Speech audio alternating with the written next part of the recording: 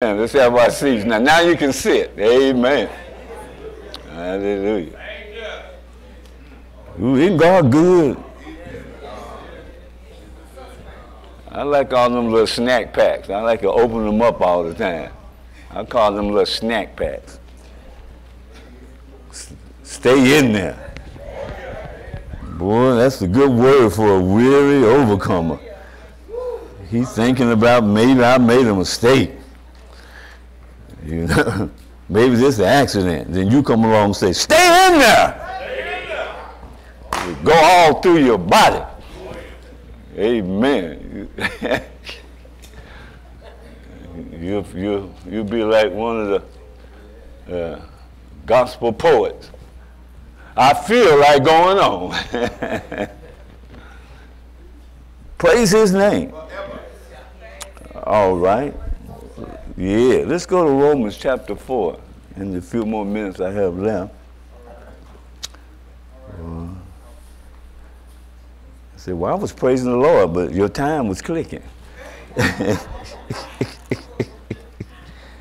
Amen. And I said, all right. What can I say? Romans chapter 4.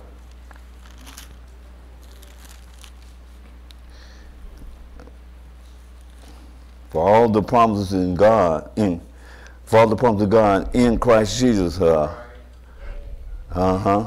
Only if you said that. Okay then. All right. For all the promises of God in Christ Jesus are.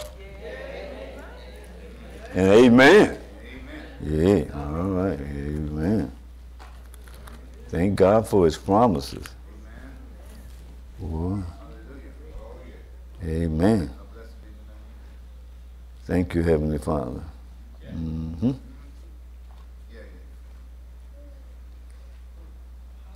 Thank you, Father. Oh, glory to his name. Where shall we start? Let's start with verse 12. I'm looking at those that are here. You're pretty familiar with this passage of Romans.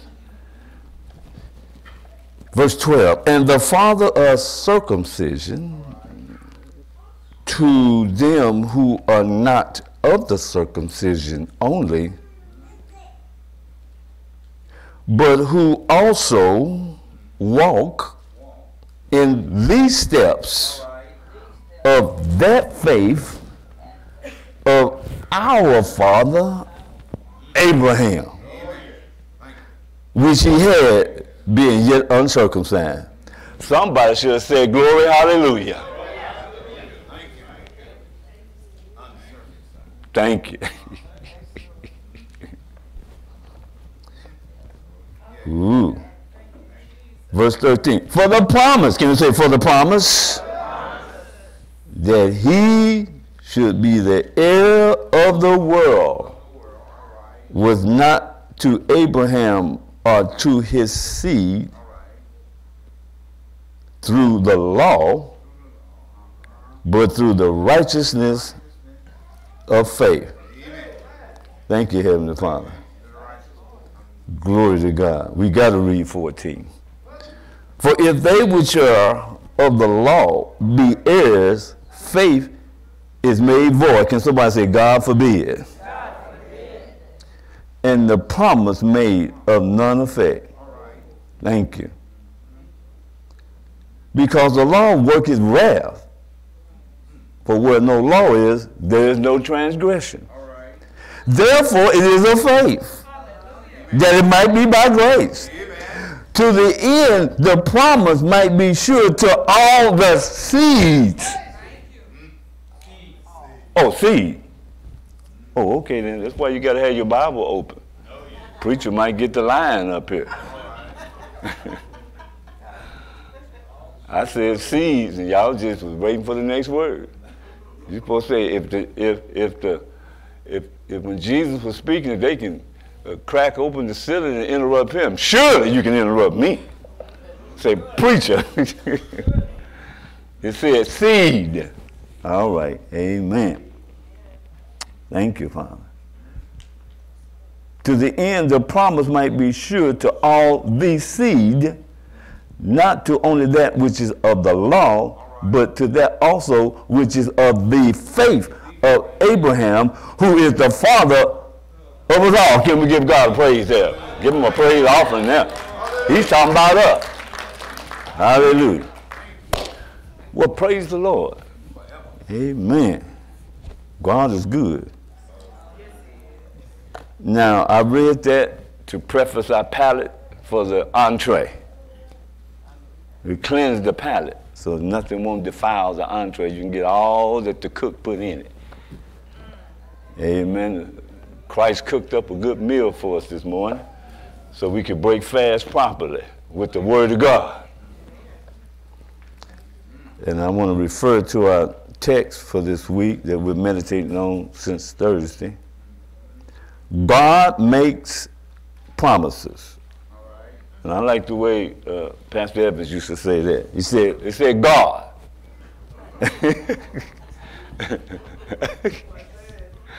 yeah, he said God. We didn't say man. we didn't say the U.S. government. Uh-huh. It said God makes promises. Somebody should said, thank God.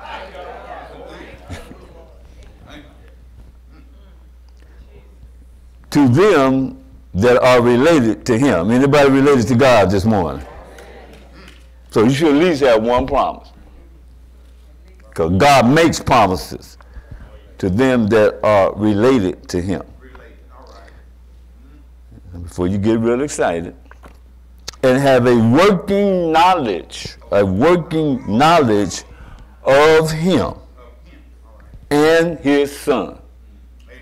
Now, now I reference this um, because um, it said we should consider the steps of my father Abraham.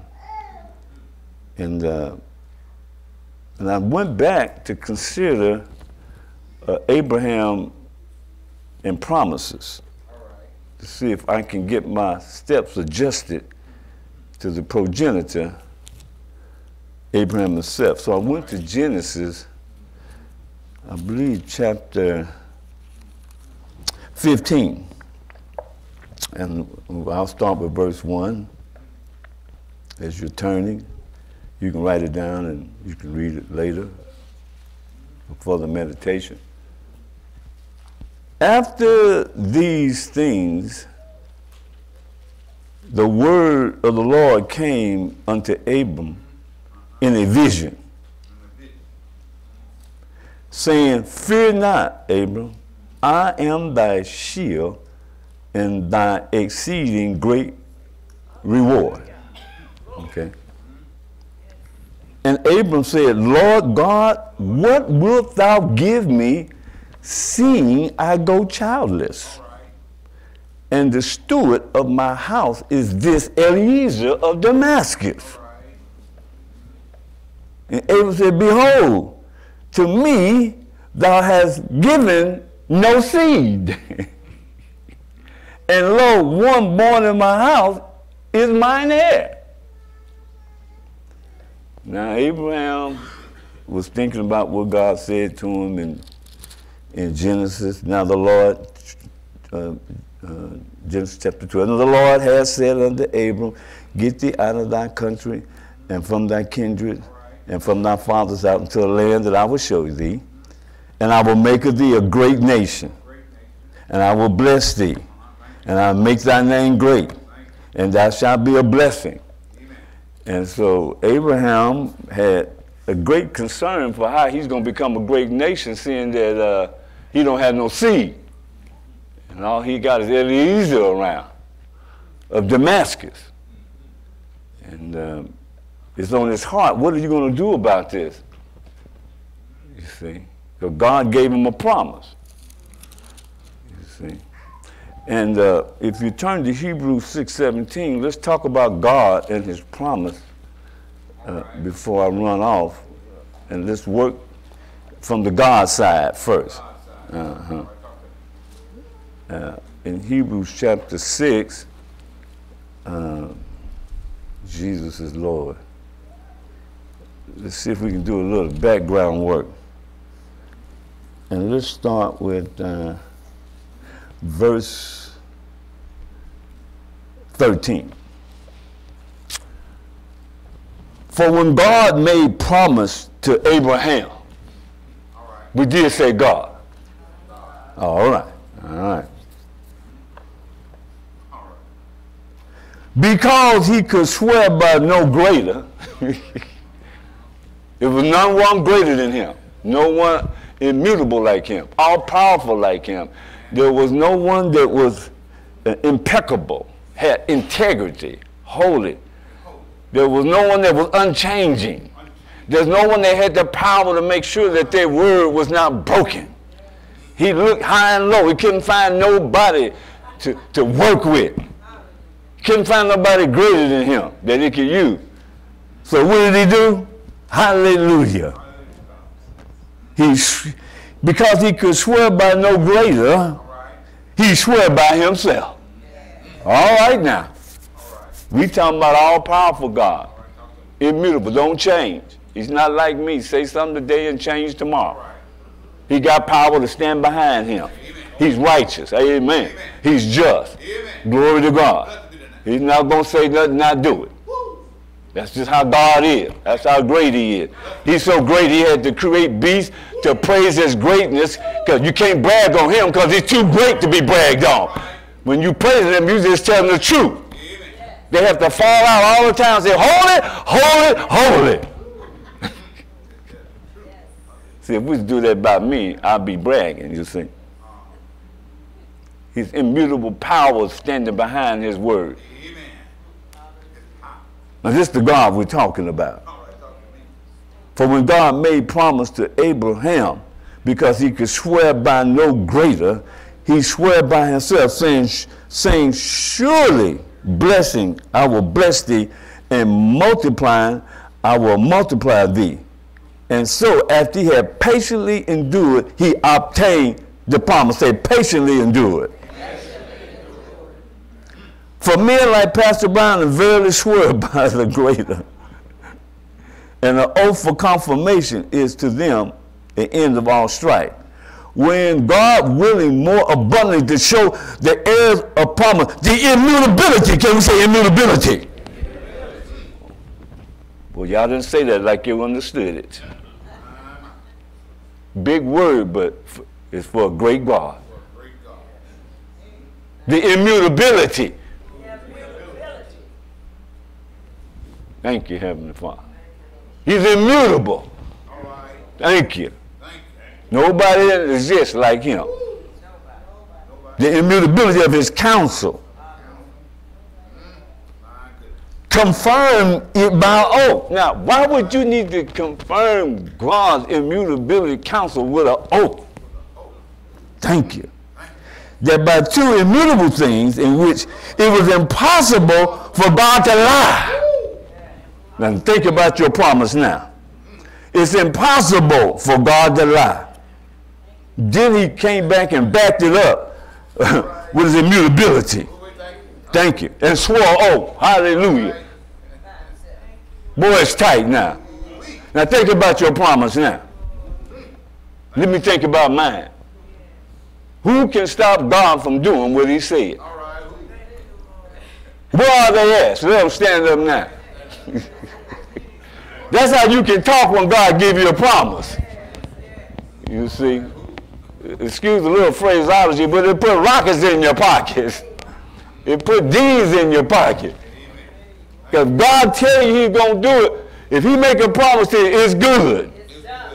It's backed by his power, his immutability, and an oath. Glory to God.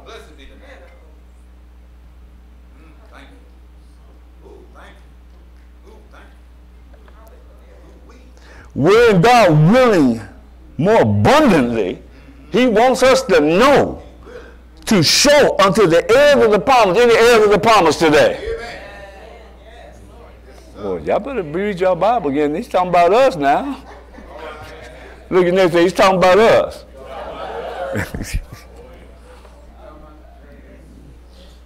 when God willing, willing more abundantly to show unto the heirs of the promise the immutability of his counsel, confirmed it by oath. Okay. that by two immutable things in which it was impossible for God to lie, we might have a strong consolation who have fled for refuge to lay hold of the hope that is set before us. Which hope we have as a anchor of the soul, both sure and steadfast, and, and which enter, into the within the veil. Now that's the God who gave us our promise. It's impossible for him to lie. It's rooted in his essence, or as the Overcomers Conference said, in his nature. It's impossible for God to lie. He got all power to back up what he said. Hallelujah. He got all eternity to work his promise out. Amen. He said, well, ain't no, you read the small clause down there. Uh, at the end of the day, the promise is no good. His promise is good as long as he's around. And he's always around. Now, what did you, your name, what did you do with that promise God gave you? Now, what you need to do with their promise, what I need to do, Sister Biden, with their promise, amen? I need to go back to the one who gave it to me and say, uh, uh where is the, where is the seed of your promise at? See, he talked to God. He said, you said I'm going to be an heir of everything. I'm going to be a nation. Okay. Oh, where's the seed? How am I going to be a nation and I don't even have a seed? I got this big old grown man running around here. Sometimes we got to go talk to God so he can talk to us. Talk to us about who he is. You see. And God humbled himself. And he talked to Abraham and, and, and, and he told him, he said, uh, uh, Abraham, it's, it's going to be all right now. And behold, the word of the Lord came unto him saying, This shall not be thine heir. So get that out your head. We through with that now. We won't talk about that no more. Okay? Saying, This shall not be thine heir. But he that shall come forth out of thine own bowels shall be thine heir. And uh, I guess he thought that didn't include Sarah. But it did. If he knew that, he wouldn't have uh, been fooling with Hagar. But we'll talk about that later. And he brought forth, uh, and he brought him, I'm putting, and he brought him forth abroad and said, Look now towards heaven and tell the stars if thou be able to number them. And he said unto him, So shall thy seed be. Now, don't get to messing with God. Don't stir him up now. And he believed in the Lord, and he counted it to him for righteousness. Amen. And he said unto him, I am the Lord that brought thee out of Ur of Chaldees. Don't think you left on your own. I brought you out. You didn't know how to leave. I had to bring you out. You were walking around like a Mesopotamian. You were looking at the moon and the stars and all the other stuff. I had to swoop down and get you to bring you out. And you questioning me? Come on now. God said, I brought you out your mother's womb. You didn't bring yourself out. And you don't think I can keep my promise to you? I started you with a one cell, little, split you into four cells, 16 cells, 32 cells. Uh, you were looking like a little cashew for a minute.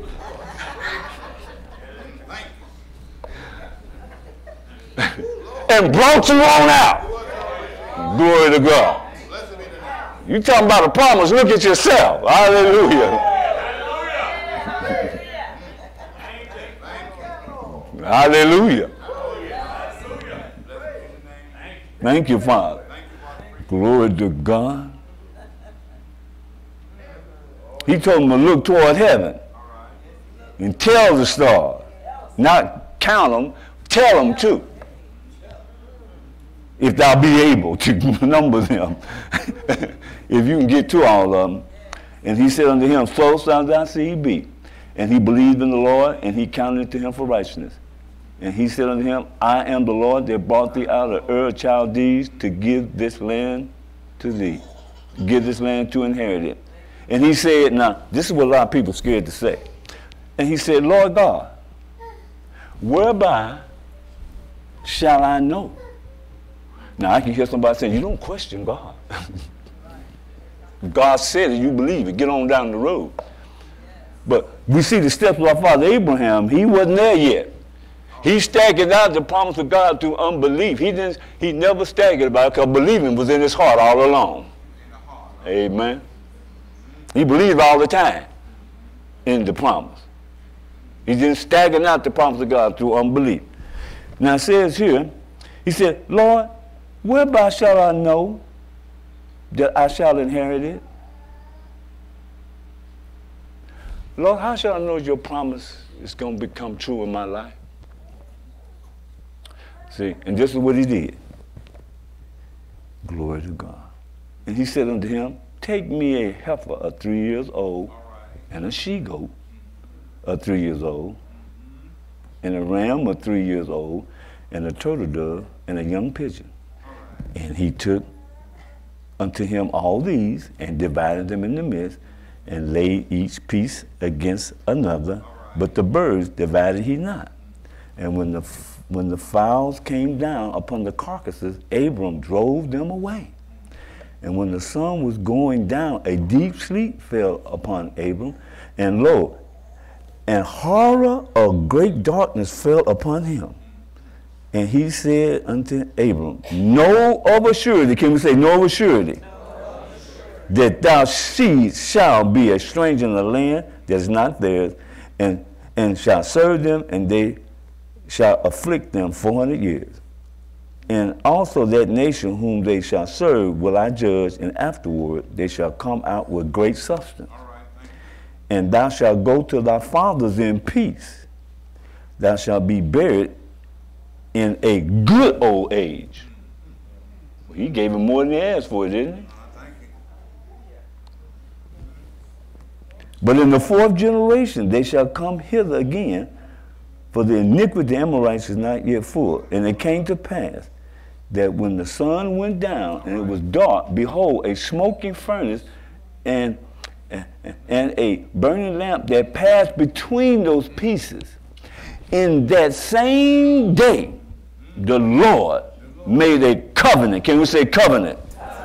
With Abram, saying, Unto thy seed have I given this land from the river of Egypt until the great river Euphrates. The Kenites and the Kenizzites and the Kadmonites and the Hittites and the Perizzites and the Rephaim and the Amorites and the Canaanites and the Girgashites and the Jebusites. See, God gives us a covenant. And we heard Bishop speak a few words. And a covenant contains promises and facts. And what the Holy Spirit comes to do through our studying and learning is to convert those facts and those promises into an experience. Amen. Thank you. But God wants you to know that He'll stoop down to our level to let you know and cut a covenant with you that what I said I'm going to do. He didn't have to do that. And that's why we got to study the covenant that God made with us but the promise that he made to is, is, is, is, is, is, is rooted in his nature, in his essence of who he is. He cannot change. He cannot lie. He must do what he say. Because he's God. And when your promise come up worrying you talking about where is my, where am I supposed where am I at? You just sit back and think about the steps that Abraham took and then you walk in those steps of that faith of our father Abraham. What does that mean to walk in those steps of that faith of our father Abraham? Abraham was committed to pleasing God. That's what it's saying to us. He was committed to pleasing God. And when you're committed to pleasing God, God will come snatch you and take you where he wants you to go. And lead you all out your journey through all this place because you want to please him. That's what it means, that faith. That faith means 24 7, you want to please God. For without faith, it's impossible to please God. Well, I said as clear as I can. Forgive me for getting so excited, thinking that you was excited as I was. Went over four minutes. Hallelujah. Anybody want to believe God for the promise today? Come on now, you got to do better than that. Look at you. Don't sit back on it. Hallelujah. Don't release your spirit today. Work with that grace that's in the plate. Hallelujah. Don't work with the grace. Don't be ashamed of your neighbor. You got to seize it. So that's my word for today. Don't be play like smooth as a bug in the rug. Go on and show out for the Lord. If you, got, if you get too beside yourself, we'll escort you to the prayer room. but work with this grace. Hallelujah. work with it. Be strong in it. multiply it. Hallelujah. Well, I said as clear as I can. Any uh,